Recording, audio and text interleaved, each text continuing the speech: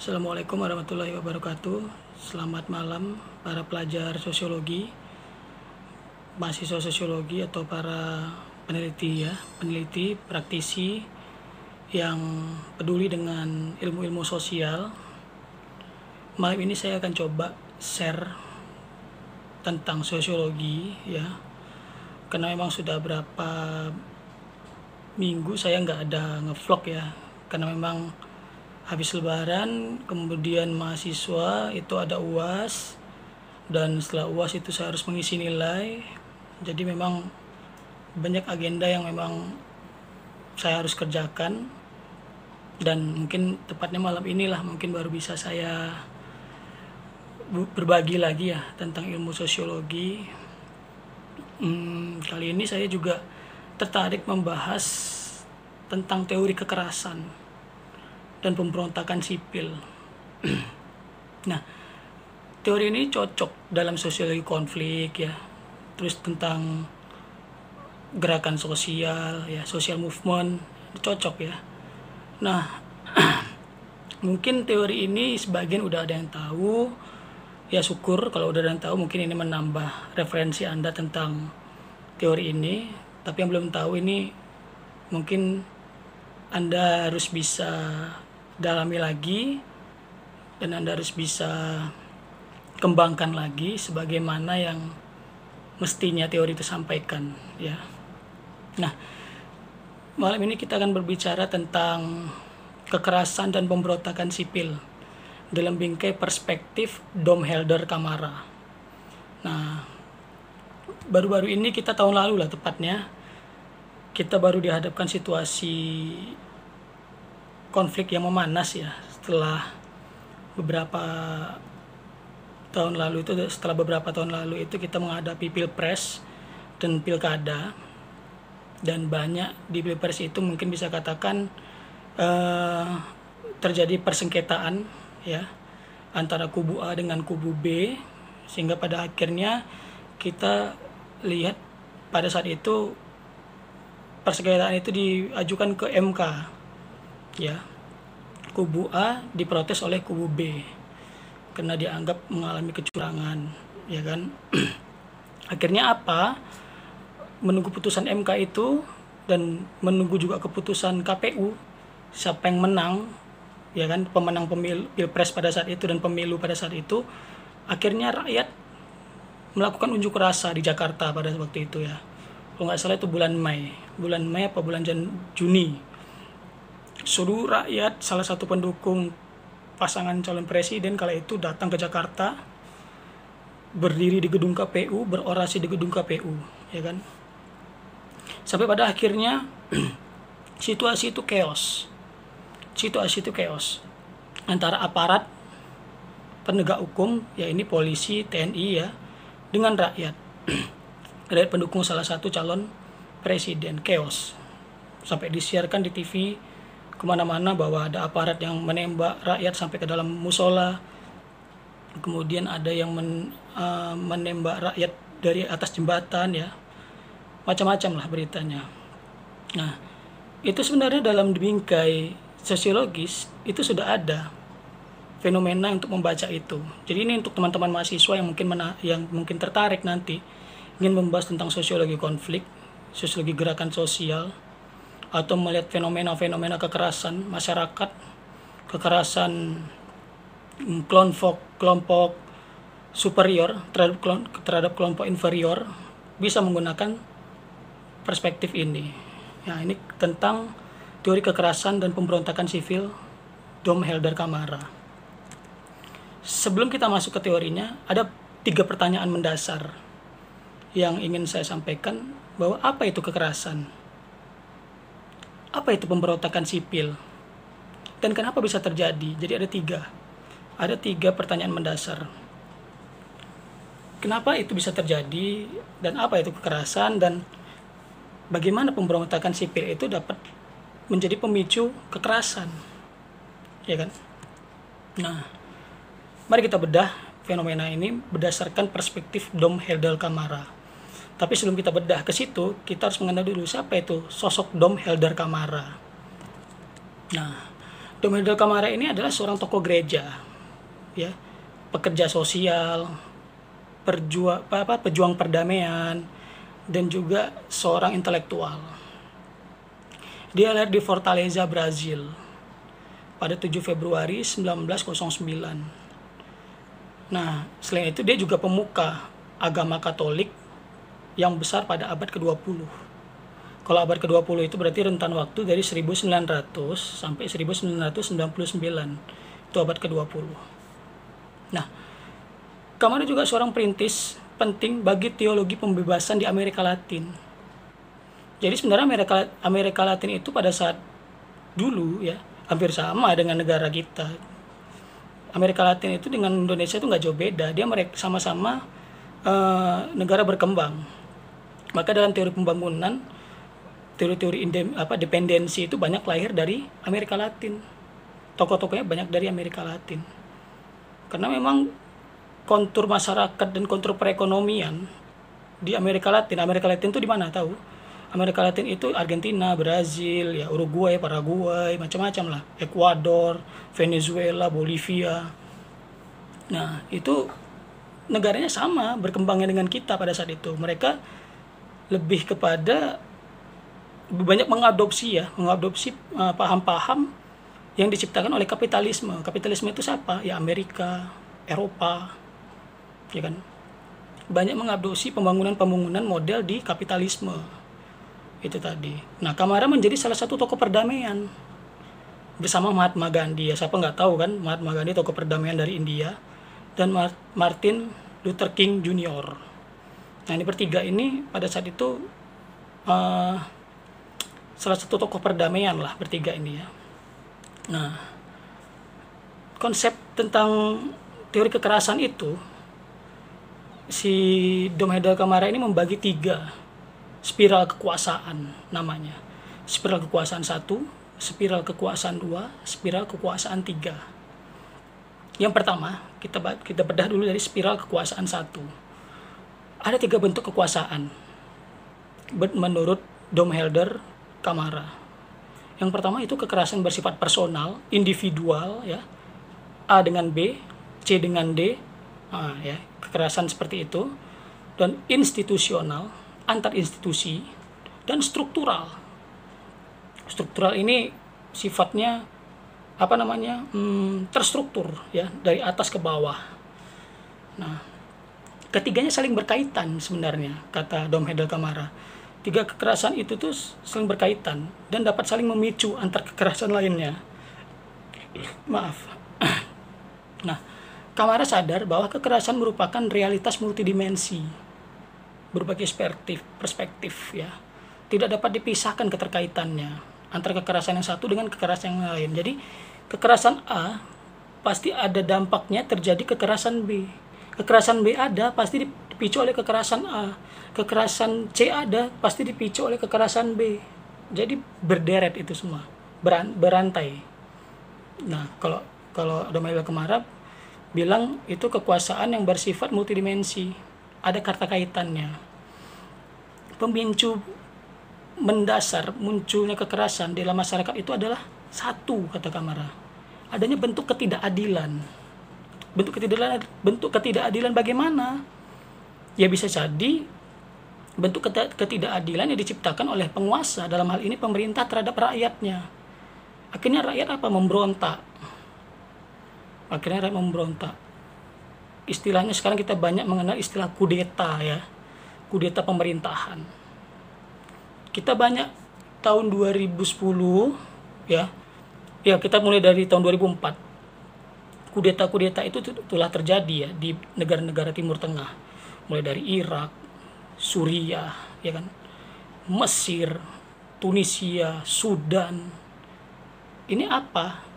Ini adalah bentuk suatu ketidakadilan yang diciptakan oleh penguasa, pemerintah yang mungkin bisa jadi otoriter, membentuk pemerintahan tiran, ya. Bisa jadi. Jadi bagi Kamara ketidakadilan inilah yang disebut dengan tipe kekerasan nomor satu.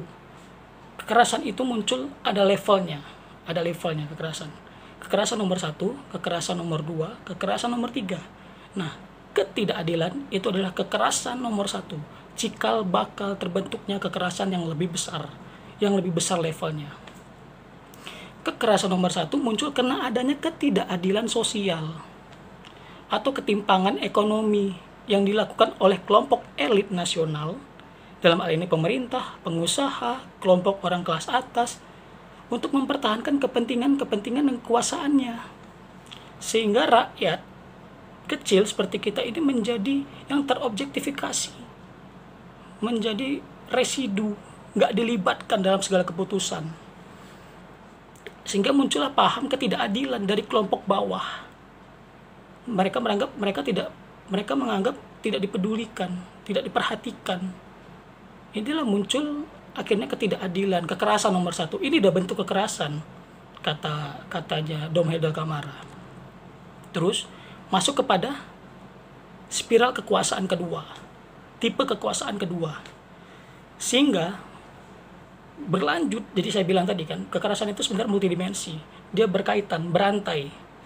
Nggak mungkin kekerasan A dengan kekerasan B itu terjadi bersama-sama sebabnya berbeda itu nggak mungkin. Pasti ada sama ada sebab akibatnya yang muncul kekerasan itu bersa secara bersamaan.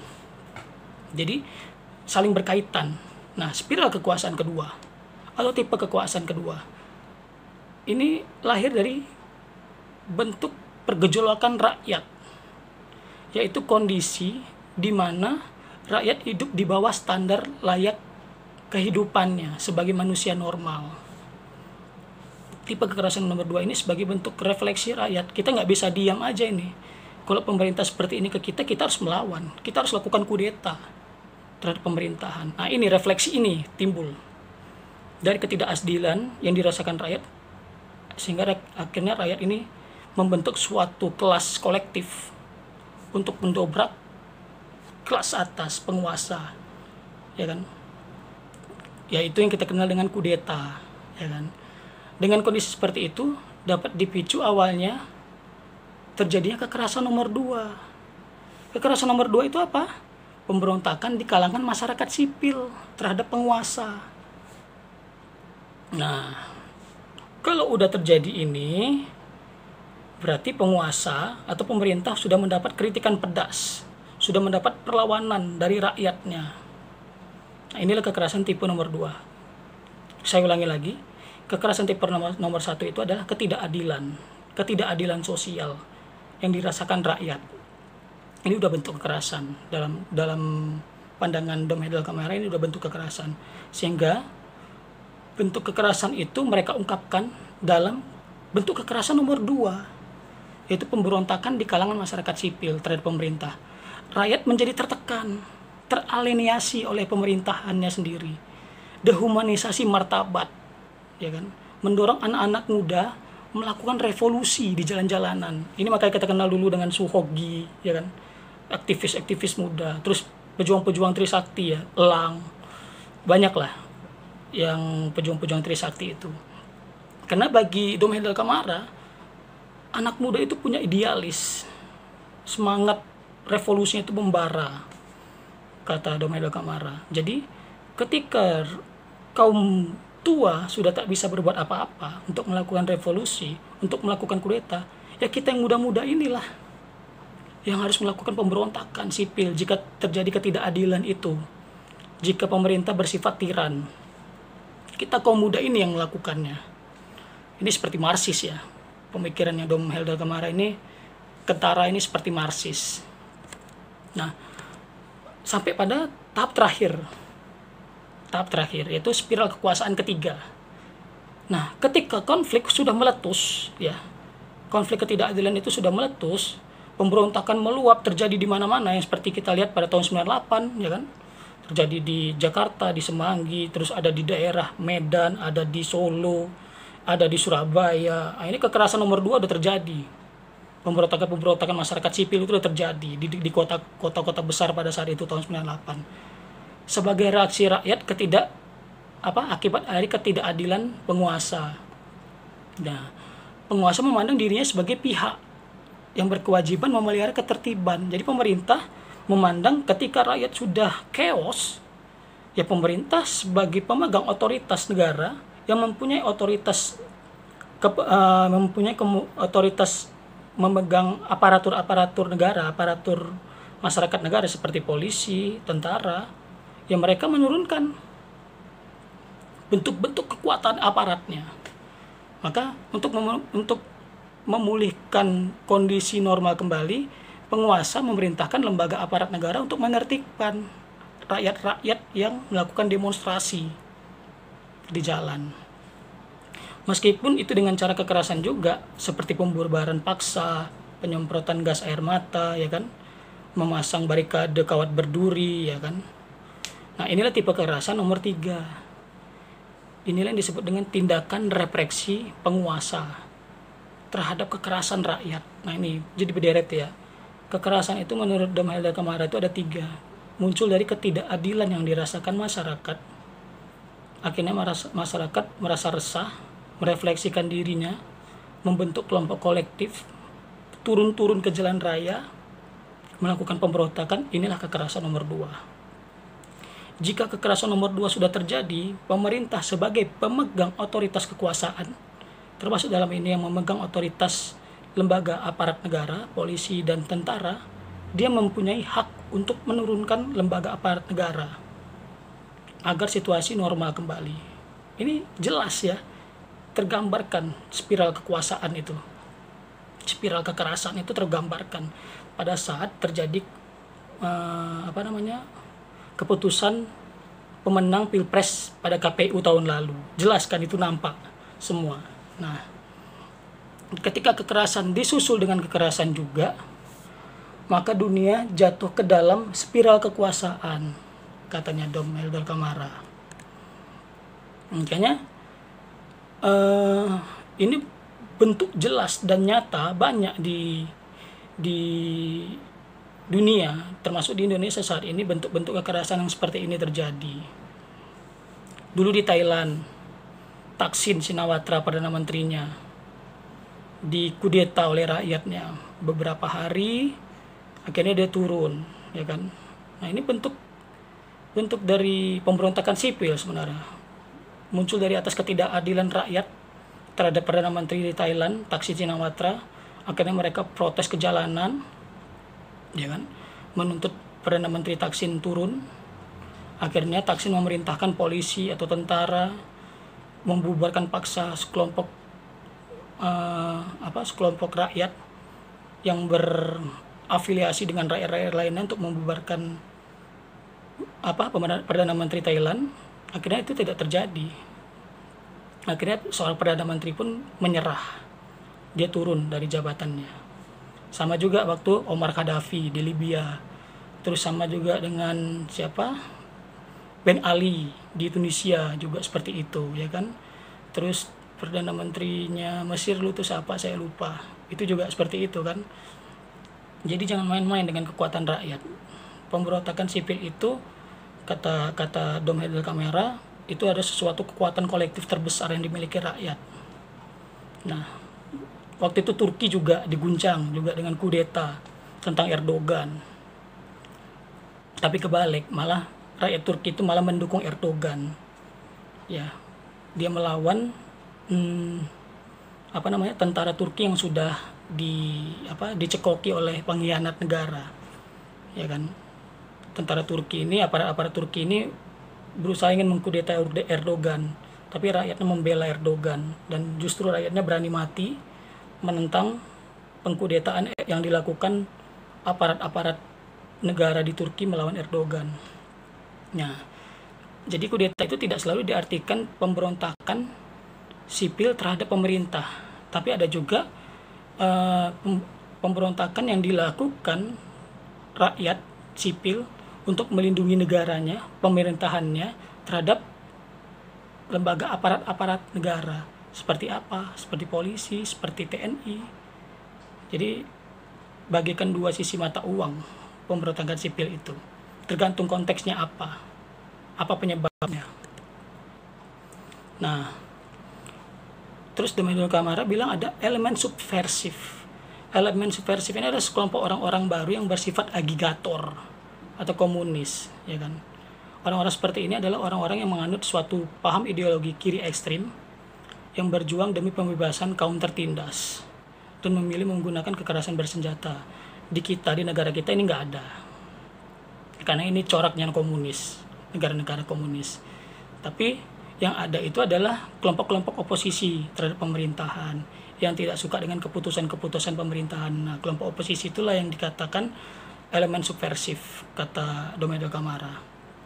Nah, rakyat tertindas melakukan aksi langsung, terlibat agitasi, rasa kesal, rasa jengkel, rasa gelisah yang mendalam, yang menyakitkan dan begitu lama mereka derita. Bila rakyat telah patah arang dan habis harapannya, serta kuatnya penguasa membungkam rakyat, Kamara menyebutkan bahwa kitalah kaum muda yang harus bergerak. Karena bagi Kamara, kaum muda adalah kekuatan segar yang memiliki idealisme, nyala semangatnya seperti api yang membara, lapar akan keadilan dan haus akan otentisitas, otentisitas ya. Jadi kaum muda inilah yang sebagai motor utamanya jika ada pemerintahan yang tiran, pemerintahan yang otoriter, pemerintahan yang kejam, jadi kaum kaum muda seperti kita ini yang harus turun ke lapangan membela kepentingan rakyat ya kan? Bagi Kamara seperti itu. Nah bagi Kamara satu-satunya jawaban yang benar untuk mengatasi kekerasan adalah keberanian untuk menghadapi ketidakadilan. Ada satu quote quote yang saya ambil dari Dom Helder Kamara ya bahwa ketika saya memberikan makanan kepada orang miskin mereka menyebut saya seorang santo. Santo itu pemuka agama Katolik. Ketika saya bertanya, mengapa orang miskin tidak mempunyai makanan? Mereka menyebut saya seorang komunis. Ya, itu menarik nih uh, quote-nya Domedo Kamara. Dan Domedo Kamara meninggal pada tahun 1999. Nah, cukup sampai di situ ya penjelasan saya tentang teori kekerasan dan pemberontakan sipil dari Dom Hedel Kamara. Semoga ini bisa membantu Anda mengembangkan lagi pemikiran-pemikiran dari Dom Hedel Kamara untuk tugas akhir Anda, misalnya skripsi, tesis, disertasi, atau tugas kuliah Anda, mata kuliah sosiologi konflik, gerakan sosial, ya kan, terserah. Ini semoga menjadi pengantar Anda untuk jauh lebih dalam mengenal teori kekerasan dari Dom Helder Kamara. Cukup sekian vlog saya kali ini. Bila ada kurang pas, kritik, saran, ya kan, pertanyaan, silakan cantumkan di kolom channel YouTube saya dan saya menerima setiap masukan, saran dari Anda semua. Saya kiri ya, wabila wabila wa Wassalamualaikum warahmatullahi wabarakatuh. Selamat malam.